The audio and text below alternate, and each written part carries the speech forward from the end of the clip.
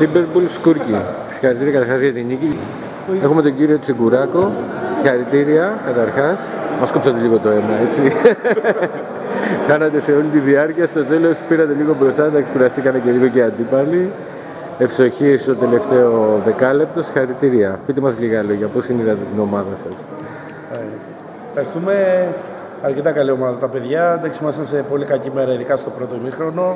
Ε, όλα δεν μπορούσαμε να βάλουμε καλάθι. Ε, το καλό είναι ότι ήρθαν άλλοι δύο παίχτες μας στο ημίχρονο ε, και βοήθησαν πάρα πολύ να γυρίσουμε το παιχνίδι. Επιταχύνανε το ρυθμό. Κουράστηκαν επίσης και τα παιδιά γιατί ήταν πέντε και καταφέραμε να κερδίσουμε. Συγχαρητήρια καταρχάς για την νίκη. Καλή συνέχεια.